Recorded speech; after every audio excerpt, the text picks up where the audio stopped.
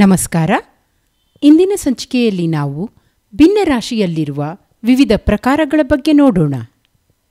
ಅದಕ್ಕೂ ಮೊದಲು ಕಳೆದ ಸಂಚಿಕೆಯಲ್ಲಿ ಭಿನ್ನರಾಶಿಯ ಬಗ್ಗೆ ಏನೇನು ತಿಳಿದುಕೊಂಡ್ವಿ ಅನ್ನೋದನ್ನು ಒಂದು ಬಾರಿ ಬೇಗನೆ ಪುನರಾವರ್ತನೆ ಮಾಡೋಣ. ಭಿನ್ನರಾಶಿ ಎಂದರೆ ಒಂದು ಪೂರ್ಣ ವಸ್ತುವನ್ನು ಸಮಭಾಗ ಮಾಡಿ, ಅದರಲ್ಲಿನ ಬೇರೆ ಬೇರೆ ಭಾಗಗಳನ್ನು ಆಯ್ದುಕೊಂಡು ಅದನ್ನು ಸೂಚಿಸುವ ವಿಧಾನ, ಅಲ್ವಾ? ಇಲ್ಲಿ ನೋಡಿ ಈ ಕೇಕ್ನಲ್ಲಿ ನಾಲ್ಕು ಸಮಭಾಗಗಳಿವೆ. ಒಂದು ಭಾಗವನ್ನು ಭಿನ್ನರಾಶಿಯಲ್ಲಿ ಹೇಗೆ ಬರಿತೇವೆ? ನಾಲ್ಕನೇ ಒಂದು. ಎರಡು ಭಾಗ ತೆಗೆದುಕೊಂಡರೆ ನಾಲ್ಕನೇ ಎರಡು. ಸಾಮಾನ್ಯ ಭಾಷೆಯಲ್ಲಿ ಇದನ್ನು ನಾವು ಅರ್ಧ ಅಂತ ಹೇಳ್ತೀವಿ, ಅಲ್ವಾ? ಮೂರು ಭಾಗ ತೆಗೆದುಕೊಂಡರೆ ನಾಲ್ಕನೇ ಮೂರು ಅಂತ ಬರಿತೀವಿ, ಅಲ್ವಾ? ಈಗ ಇಲ್ಲಿ ಒಂದು ಸಮಸ್ಯೆ ಇದೆ. ಅದೇನೆಂದು ನೋಡೋಣ. ಒಂದು ದಿನ ಪುಟ್ಟಿ ಮತ್ತು ಕಿಟ್ಟಿ ಅಮ್ಮನ ಬಳಿ ಬಂದು, ತಿನ್ನಲು ಏನಾದರೂ ಕೊಡು ಎಂದು ಕೇಳಿದಾಗ, ಅಮ್ಮ, ಇದ್ದ ಮೂರೇ ಮೂರು ಬಿಸ್ಕೆಟನ್ನು ಕೊಟ್ಟು ನೀವು ಅದನ್ನು ಹಂಚಿಕೊಳ್ಳಿ ಅನ್ನುತ್ತಾಳೆ. ಆಗ ಪುಟ್ಟಿ ಒಂದನ್ನು ಕಿಟ್ಟಿಗೆ ಕೊಟ್ಟು, ಒಂದನ್ನು ತಾನು ತೆಗೆದುಕೊಂಡು, ಮತ್ತೊಂದನ್ನು ಎರಡು ಸಮಭಾಗ ಮಾಡಿ, ತನಗೊಂದು ಭಾಗ ಇಟ್ಟುಕೊಂಡು ಮತ್ತೊಂದನ್ನು ಕಿಟ್ಟಿಗೆ ನೀಡುತ್ತಾಳೆ. ಆದರೆ ಕಿಟ್ಟಿಗೆ ಸಮಾಧಾನವಾಗಲಿಲ್ಲ. ಪುಟ್ಟಿ ಹಂಚಿದ ರೀತಿ ತಪ್ಪೆಂದು ವಾದಿಸಿ ಆ ಮೂರು ಬಿಸ್ಕೆಟ್ಗಳನ್ನು ಎರಡೆರಡು ಸಮ ಭಾಗಗಳನ್ನಾಗಿ ಮಾಡಿ ಮೂರನ್ನು ಪುಟ್ಟಿಗೆ ಕೊಟ್ಟು ತಾನು ಮೂರನ್ನು ತೆಗೆದುಕೊಳ್ಳುತ್ತಾನೆ. ಈಗ ನೀವೇ ಹೇಳಿ, ಇವರಿಬ್ಬರಲ್ಲಿ ಯಾರು ಸರಿ? ಸರಿಯಾಗೇ ಊಹಿಸಿದ್ರಿ, ಅವರಿಬ್ಬರೂ ಸರಿಯಾಗೇ ಹಂಚಿದ್ರು, ಅಲ್ವಾ? ಪುಟ್ಟಿ, ಒಂದು ಇಡೀ ಬಿಸ್ಕೆಟನ್ನು ಹಾಗೇ ಇಟ್ರೆ ಕಿಟ್ಟಿ ಎಲ್ಲವನ್ನೂ ಅರ್ಧರ್ಧ ಮಾಡಿ ಹಂಚಿದನು.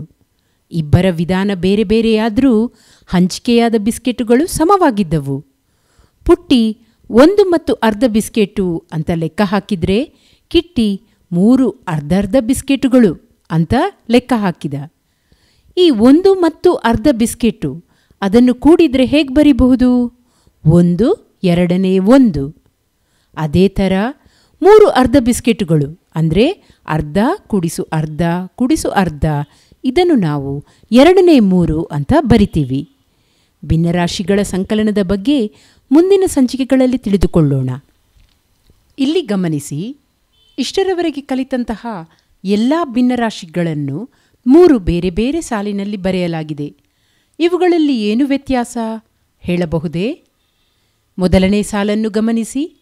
ಇಲ್ಲಿ ಕೊಟ್ಟಿರುವ ಎಲ್ಲ ಭಿನ್ನರಾಶಿಗಳಲ್ಲಿ ಅಂಶವು ಛೇದಕ್ಕಿಂತ ಚಿಕ್ಕದಾಗಿದೆ. ಅದೇ ಎರಡನೇ ಸಾಲಿನ ಭಿನ್ನರಾಶಿಯಲ್ಲಿ ಅಂಶವು ಛೇದಕ್ಕಿಂತ ದೊಡ್ಡದಾಗಿದೆ. ಕೊನೆಯ ಸಾಲಿನ ಭಿನ್ನರಾಶಿಯನ್ನು ನೋಡಿ. ಇಲ್ಲಿ ಒಂದು ಪೂರ್ಣಾಂಕವು ಭಿನ್ನರಾಶಿಯ ಜೊತೆ ಸೇರಿದೆ. ಅಲ್ವಾ? ಇವೇ ಭಿನ್ನರಾಶಿಯಲ್ಲಿನ ಮೂರು ಪ್ರಕಾರಗಳು.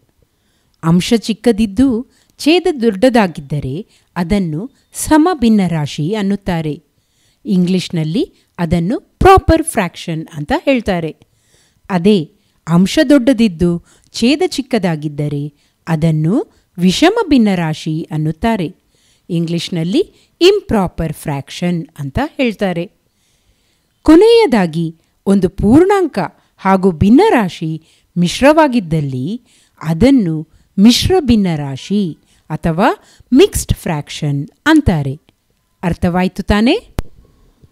ಅರ್ಥವಾಗಿದ್ರೆ ಇಲ್ಲಿ ಕೊಟ್ಟಿರೋ ಒಂದು ಚಿಕ್ಕ ಚಟುವಟಿಕೆ ಮಾಡಿ. ಇಲ್ಲಿ ಕೆಲವು ಭಿನ್ನರಾಶಿಗಳನ್ನು ಕೊಡಲಾಗಿದೆ. ಅವುಗಳನ್ನು ಸಮ, ವಿಷಮ ಹಾಗೂ ಮಿಶ್ರ ಭಿನ್ನರಾಶಿಗಳಾಗಿ ವಿಂಗಡಿಸಿ. ಒಂದು ಕ್ಷಣ ವಿಡಿಯೋವನ್ನು ಪಾಸ್ ಮಾಡಿ, ಇದನ್ನು ವಿಂಗಡಣೆ ಮಾಡಿ.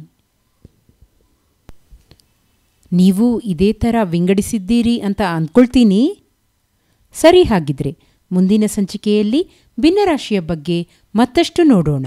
ಅಲ್ಲಿಯವರೆಗೆ ಪುನರಾವರ್ತನೆ ಮಾಡುತ್ತಾ ಗಣಿತ ಸುಲಭ ಅಂತ ಹೇಳ್ತಾ ಇರಿ. ಮತ್ತೆ ಸಿಗೋಣ.